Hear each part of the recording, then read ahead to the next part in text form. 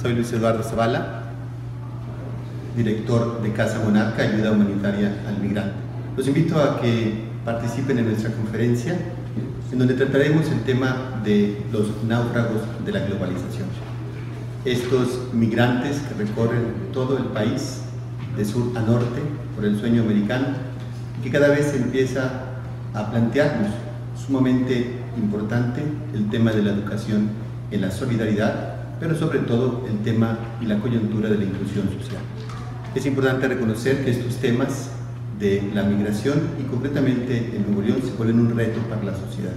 Se vuelve una oportunidad histórica en la que tenemos que afrontar de una manera u otra lo que cada uno, cada una puede dar respuesta. México es un país originalmente de tránsito, ahora cada vez más es de retorno y empieza a ser de permanencia. Por eso es importante conocer más a fondo este fenómeno y sobre todo la violencia, el sufrimiento y las historias que escuchamos todos los días en torno a este grupo vulnerable de los migrantes en nuestra ciudad. Ojalá puedan acompañarnos. Gracias.